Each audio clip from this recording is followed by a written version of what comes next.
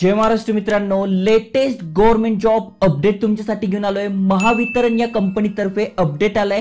खासियत याची अशी की पाच हजार तीनशे प्लस वॅकन्सी आहे. मग यासाठी कशा प्रकारे अप्लाय करायचं? कोण कोण अप्लाय करू शकतंय? एक्झाम कशी होणार आहे? अप्लाय कसं करायचं? सगळी माहिती डिटेलमध्ये समजून सांगतोय. त्यामुळे जागा जास्ती आहे. गव्हर्नमेंट जॉब आहे. व्हिडिओ पूर्ण बघा. डिटेलमध्ये समजून सांगतोय. त्याआधी चॅनलवर नवीन आला असाल आयकॉनिक मराठी चॅनल सबस्क्राईब केलं नसेल तर करून ठेवा. नवीन नवीन job update income ideas business idea भरपूर सारे व्हिडिओज आणतोय. चला तर बघूया डिटेलमध्ये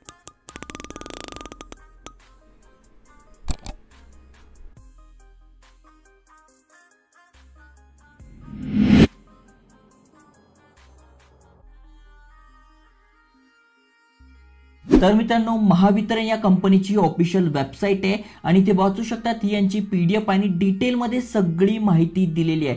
टोटल पाच हजार तीनशे सत्तेचाळीस पदांसाठी ही भरती होते आहे. बघा कास्टनुसार तुम्ही बघू शकतात कुठल्या प्रवर्गामध्ये येतात.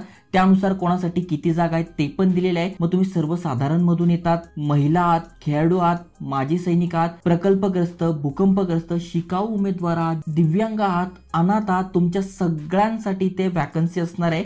त्यामुळे चांगलं अपडेट आहे. ओके आता इथे एज किती पाहिजे? म्हणजे जर तुम्ही ते अप्लाय करताय तर वयाची अट काय दिली आहे?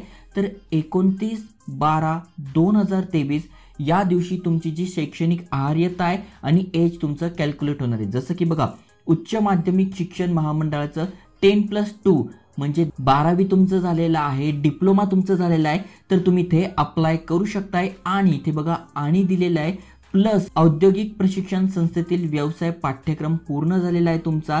जसं की इथे बघू शकता सेंटर ऑफ एक्सलन्स इलेक्ट्रिकल सेक्टरमधलं किंवा महाराष्ट्र राज्य व्यवसाय परीक्षा मंडळ यांनी प्रमाणित केलेलं दोन वर्षाची पदविका तुमच्याकडे आहे तर तुम्ही ते अप्लाय करू शकताय. म्हणजे बारावी डिप्लोमा आणि हे प्रमाणपत्र तुमच्याकडे आहे तर तुमच्यासाठी ही वॅकन्सी आहे. वय किती पाहिजे तर इथे बघा दिलंय अठरा ते सत्तावीस तुमचं वय आहे तुम्ही अप्लाय करू शकताय. आर्थिक दुर्बल घटकातले तुम्ही आहात तर तुम्हाला इथे बघा पाच वर्षांची सवलत दिली आहे. म्हणजे मागासवर्गीय आणि ईडब्ल्यूएस मधून तुम्ही अप्लाय करताय तर पाच वर्षाची सूट आहे. दिव्यांग उमेदवार आहात माजी सैनिक आहात तर पंचेचाळीस वय तुमचं आहे अप्लाय करू शकताय. बाकीच्यांसाठी पण इथे डिटेलमध्ये माहिती दिली आहे. आता हे जे पद आहे तर यांनी ते बघा डिटेलमध्ये माहिती दिली आहे. सुरुवातीचे जे तीन वर्ष असणार आहे ते कंत्राटी असणार आहे. त्यानंतर हा परमनंट जॉब होणार आहे. म्हणजे जेव्हा तुम्ही ते अप्लाय करणार एक्झाम पास होणार जॉबला लागणार त्यानंतर पहिले जे तीन वर्ष आहे ते कंत्राटी असणार आहे त्यानंतर तुम्ही ते परमनंट जॉबला लागणार आहात. ओके इथे बघा डिटेलमध्ये दिले. मग पहिल्या तीन वर्षासाठी किती मानधन असणार आहे?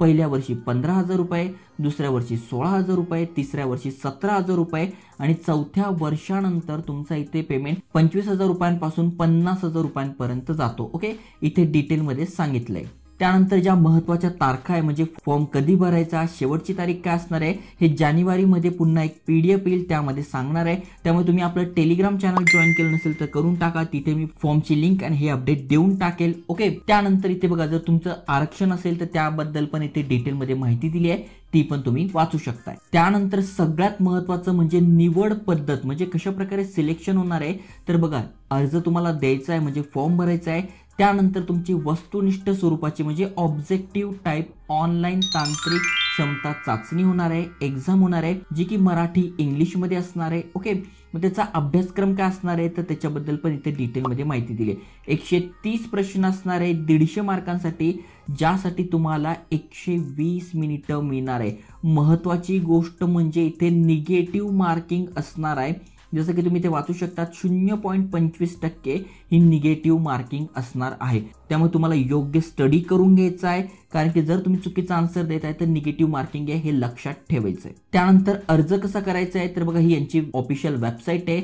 यावरच आपल्याला समजून जाणार आहे कधीपासून फॉर्म भरायचं आहे कधीपर्यंत फॉर्म भरू शकताय या वेबसाईटची लिंक मी डिस्क्रिप्शनमध्ये टाकून दिली आहे. पीडीएफची लिंक टेलिग्राम चॅनलवर डिस्क्रिप्शनमध्ये तुम्हाला मिळून जाईल. तिथून तुम्ही हे सगळं वाचू शकताय. आता इथे एक्झाम फी किती असणार आहे तर तुम्ही खुल्या प्रवर्गातून अप्लाय करताय तर अडीचशे प्लस जीएसटी असणार आहे. आणि जर का तुम्ही मागासवर्गीय आर्थिकदृष्ट्या दुर्बल घटक अनाथ यामधून तुम्ही अप्लाय करताय तर एकशे पंचवीस रुपये प्लस जी एस टी असणार आहे ओके त्यानंतर इतर अटींबद्दल पण माहिती दिली आहे. पी डी एफमध्ये तुम्ही वाचू शकताय.